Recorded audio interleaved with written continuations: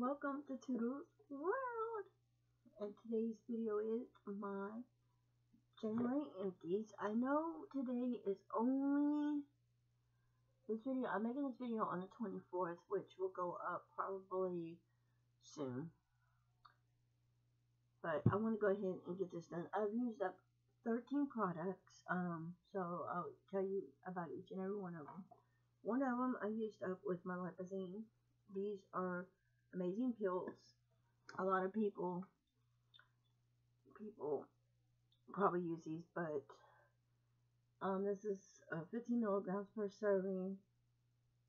Commercially proven, helps reduce weight, helps reduce body fat, safe and effective. I take these one, two a day, one in the morning and one at night when I eat dinner and my body fat.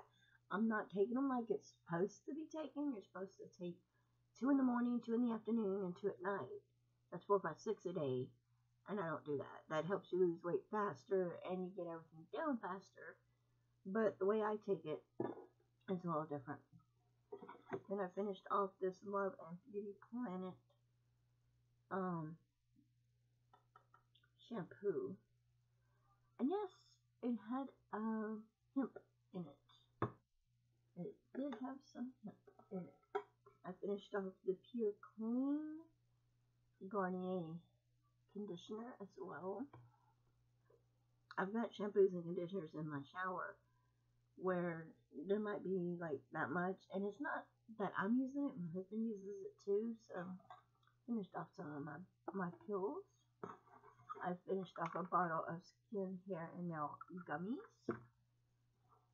I finished box of Imodium AD. Um, this was Arctic Fox. This was Space Cowboy. This was a hair dye product that I had just a little in it and I used it up. Another one of my Lipozene bottles. Another Lipozene bottle. You could tell I used my Lipozenes. I used up, I think, of Germ-X hand sanitizer as I finished and used a face mask. Oh, okay. It's not 13 products. I used, uh, well, yeah, 13.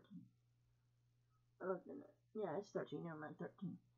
Then I used up this candle.